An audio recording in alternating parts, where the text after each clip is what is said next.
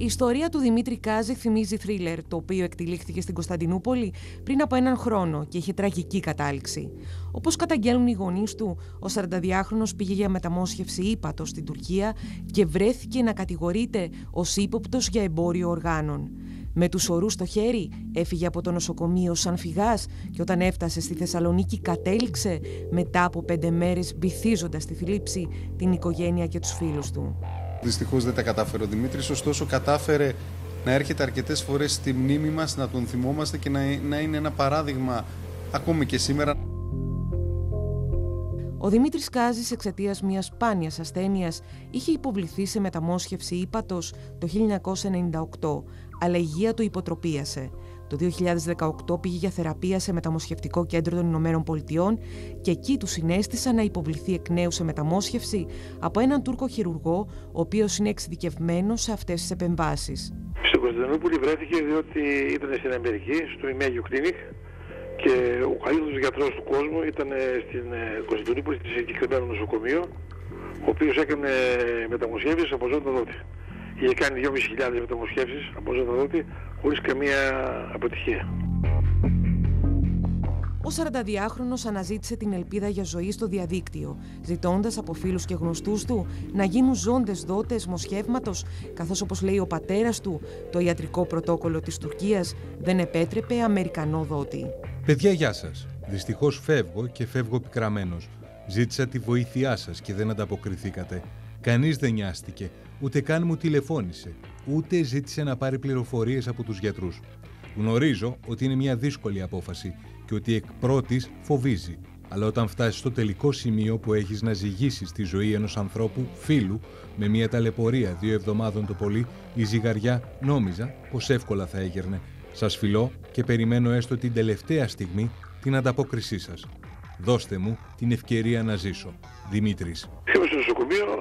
Είμαι στο νοσοκομείο, έκανε ο Δημήτρης μια έκκληση για να βοηθηθεί, διότι οι Τούρκοι δεν δεχόταν μόνο Έλληνες. Βρεθήκαν τρεις εθελοντές δότες οι οποίοι ήταν συμβατοί και ενώ προχωρούσαμε και φτά, είχαμε φτάσει σχεδόν στο τέλος για την ε, μεταμόσχευση, ο ΕΟΜ από την Ελλάδα, χωρίς να μας ενημερώσει μας καθόλου, ούτε να ενημερώσει τις ειδικές αρχές, έστειλε email στις τουρκικές αρχές και είπε ότι υπάρχει κάποιος Έλληνας τον οποίο να ψάξετε να βρείτε διότι είναι ύποπτος εμπορίας οργάνων. Πράγματα τρελά.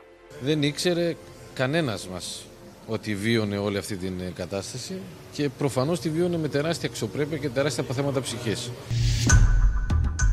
Σύμφωνα με τη μήνυση που έχει καταθέσει η οικογένεια του άτυχου διεθνολόγου, η ανάρτηση αυτή κινητοποίησε τον Εθνικό Οργανισμό Μεταμοσχεύσεων. Όπως καταγγέλουν, υπάλληλος του ΕΟΜ έστειλε email σε Τούρκο ομόλογό του, λέγοντας ότι ο Δημήτρης είναι ύποπτος για εμπορία οργάνων. Το γεγονός αυτό κινητοποίησε τις τουρκικές αρχές και μετά από μια σειρά ηλεκτρονικής αλληλογραφίας, ο 42χρονο φυγαδεύτηκε στις 8 Αυγούστου στην Ελλάδα υπό το φόβο της σύλληψής του.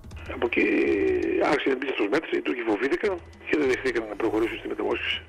Και αναγκαστήκαμε να βγήκαμε έξω, μας βγάλαμε έξω στο νοσοκομείο, πήραμε εξητήρια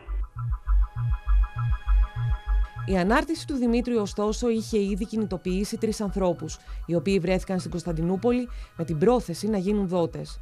Λίγα 24 ώρα πριν ο Έλληνας διεθνολόγος υποβληθεί στη σωτήρια για κοινών επέμβαση, ο γιατρός του τον ενημέρωσε ότι δεν θα μπορούσε να προχωρήσει και ότι έπρεπε να πάρει εξτήριο και να φύγει από το νοσοκομείο. Ήταν τρεις συνδότες, οι οποίοι ήταν πολλοί δότε, αλλά οι τρεις ήταν συμβατοί. Και οι οποίοι επιλέγησαν να συμμετέχουν στην εγχείρηση. Ένας από τους τρεις πετύχει η εγχείρηση, δεν είχαν καμία αποτυχία. Μέχρι τότε οι Τούρκοι δεν είχαν καμία αποτυχία. Με το νοσοκομείο αυτό το συγκεκριμένο δεν είχε καμία αποτυχία. Είχε κάνει 2.500 μεταμοσχεύσει επιτυχή. Οι Τούρκοι το κοινοποίησαν το email, το κοινοποίησαν στο νοσοκομείο. Και το νοσοκομείο φοβήθηκε. Όσο το ξέρω την άλλη μέρα. Και παράνομα βέβαια, διότι ο ασθενής ήταν με ορού και έφυγε για την Ελλάδα με αεροπορικός και μάλιστα φύγαμε από το νοσοκομείο για να μας συλλάβουν οι τουρκικές αρχές στο αεροδρόμιο. Άρα κινδύνευε το παιδί σας ε, και εσείς ε, ε, ως γονείς λοιπόν να, να συλληφθείτε από τις τουρκικές αρχές; Ναι, ναι, ναι. Κατόπιν καταγγελίας κατά των αναφορών που έκανε το ΕΟΜ. Ο οποίος μπορούσε κάλλιστα να ενημερώσει εμάς ή να ενημερώσει τις ελληνικέ αρχές. Δεν είχε και δουλειά να κάνει, να ανοίξει αλληλογραφία με email με τις τουρκικές αρχές. Εσείς όταν χρειάστηκε να ταξιδέψετε στην Κωνσταντινούπολη για να κάνει το παιδί τη μεταμόσχευση, είχατε ενημερώσει τον ΕΟΜ; Όχι, δεν είχαμε ενημερώσει. Άμα φτάναμε στην μεταμόσχευση, μπορεί να τον ενημερώνουμε. Δεν είχαμε ενημερώσει τον Αλλά ο όμως ήξερε πολύ καλά ότι ο Δημήτρης έχει κάνει μεταβόσεις πριν από 20 χρόνια στην Αγγλία. Άρα ο όμως ήξερε πάρα πολύ καλά. Ήξερε τα πάντα ο για τον Δημήτρη, είχε φάκελο και μπορούσε να ενημερώσει εμάς. Φύγαμε κακή κακός στο νοσοκομείο. Μετά την επεισοδιακή επιστροφή του Δημήτρη στη χώρα μας, ο αγώνας για τη ζωή του κράτησε μόλις πέντε ημέρες, καθώς στις 13 Αυγούστου κατέληξε. Μου γέμισε το νοσοκομείο, το καταδικάσανε σε θάνατο και ταξίδωσε με την πτήση την κανονική. Ούτε χαρτί, ούτε χαρτί και το ματίνα δεν μπορούσε το παιδί να ταξιδέψει. Στην κατάσταση που ήταν με, με, με, το καροτσάκι. Είχε και τον ορό στο χέρι. Βεβαίως, το πάντα. Και μετά το παιδί, μετά πέντε μέρες, κατέληξε στο σπίτι του. Ο 42χρονο άντρας διέθετε ένα ισχυρό βιογραφικό με σπουδαίες περγαμηνές.